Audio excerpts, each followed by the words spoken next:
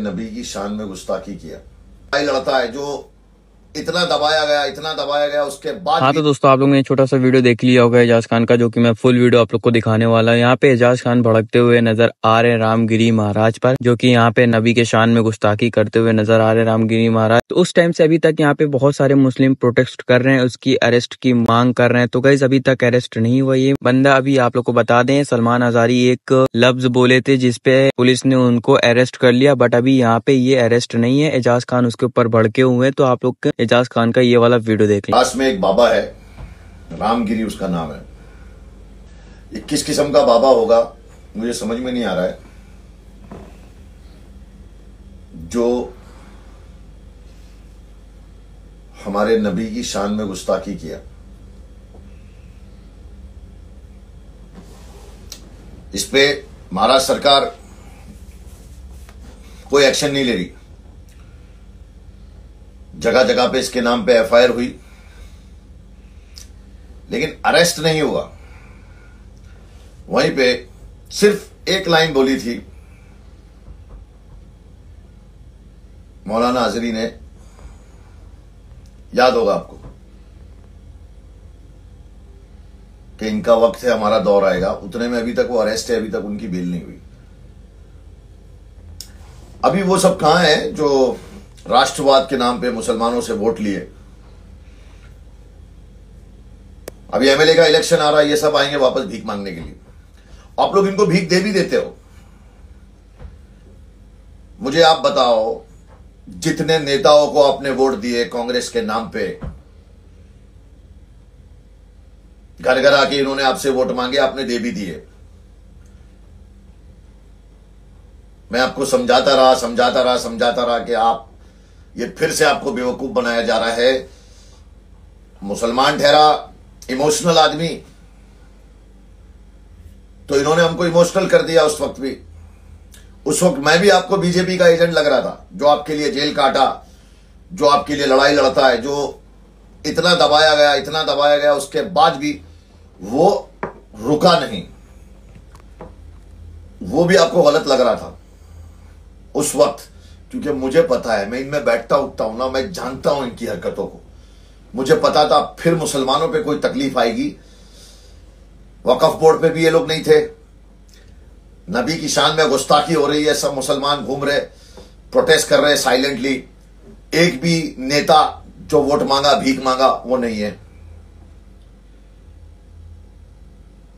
आप मेरे को बताओ, आपके वोट से ये लोग नेता बने, जीते इन लोगों को आपके साथ नहीं खड़ा होना चाहिए था वहाँ पे।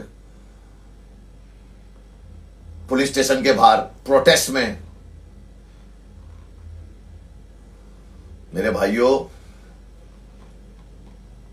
हम में से ही नेता होंगे ना, तभी लड़ पाएँगे। जैसे सरदारों की कौम में सरदार नेता है, वो सरदारों को ही बनाते हैं ताकि सरदार उनके लिए खड़े हो जाते, लड़ते। देखो, मराठी लोगों का मराठी नेता है भाई, और मराठी उनकी सुनते हैं। देख लो शिंदे गुट उद्धव ठाकरे, बाला साहेब ठाकरे, उधर वो, शरद पवार।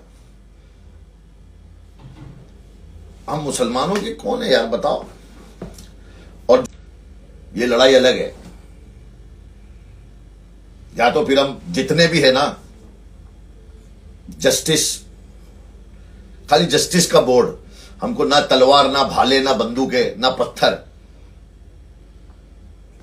जस्टिस का बोर्ड हाथ में चाहिए बस। हिंदुस्तान बंद हो जाएगा। हिंदुस्तान बंद हो जाएगा चार पाँच दिन के लिए। फिर नहीं खींचे जाएँगे हिजाब। फिर नहीं लात मारी जाएगी नमाज़ में। सिर्फ़ जस्टिस का बोर्ड लेके। और नेता हम में से ही चुनो। कम से कम घर पे आके दरवाज़ा खोल के निकाल तो सकते हैं?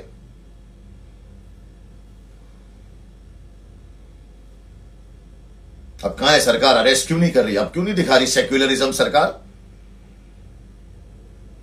कोई भी उठ के नबी को कुछ बोल देता है, कोई भी उठ के इस्लाम को कोई कुछ बोल देता है, और इसी में सामने से कोई कुछ बोले, उस पर बुलडोजर चला देते हो। अभी वो चौधरी ने मुसलमानों को इतना मारा आपने उसको अरेस्ट तो किया, लेकिन बुलडोजर नहीं चलाया उसके घर पे। चलाइए ना उसके घर पे बुलडोजर नहीं चलाएँगे आप। ऐ सियासत, मेरी तुझसे कोई दुश्मनी नहीं, मगर ये नफरत भरा चलन मुझे अच्छा नहीं लगता। ये नफरत भरा चलन मुझे अच्छा नहीं लगता। सभी का खून शामिल है, इस मिट्टी में किसी के बाप का हिंदुस्तान नहीं है।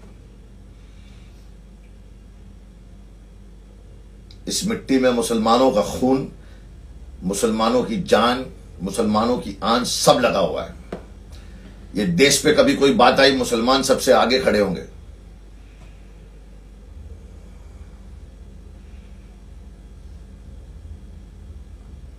और इसमें मेरे हिंदू भाइयों को मेरा साथ देना चाहिए। जिस तरह से सरदार साथ में खड़े हुए। और जो कोई भी राम पे कमेंट करे, नबी पे कमेंट करे, वाहिगुरु पे कमेंट करे, किसी भी भगवान पे कमेंट करे, ऐसे लोगों को पहले अरेस्ट करो। ये देश का माहौल खराब कर रहे सिर्फ़ और सिर्फ़ एक तबके के, एक कम्युनिटी के लोगों पे अगर हर चीज़ थोपी जाएगी तो ये ठीक नहीं है।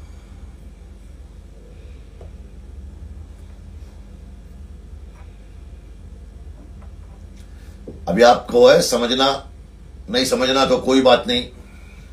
मेरे वीडियो को ज़्यादा से ज़्यादा शेयर कर दो, हर व्हाट्सएप ग्रुप हर जगह पहुंचाओ, ताकि लोगों को समझ में आए। तो कैसे यहाँ पे एजाज खान का आप लोग ने ये वाला वीडियो देख लिया होगा, एजाज खान क्या कहते हुए नज़र आ रहे हैं। आप लोग को बता दें, यहाँ पे जितना भी एजाज खान ने कहा है, वो सही है कि नहीं, आप लोग कमेंट ज़रूर करिएगा, और आप लोग इस चैनल को सब्सक्राइब कर लीजिए, क्योंकि इस पे ही आप लोगों को पहले ही अपडेट मिलेगा। तो चैनल को सब्सक्राइब कर लीजिए, मिलते हैं नेक्स्ट वीडियो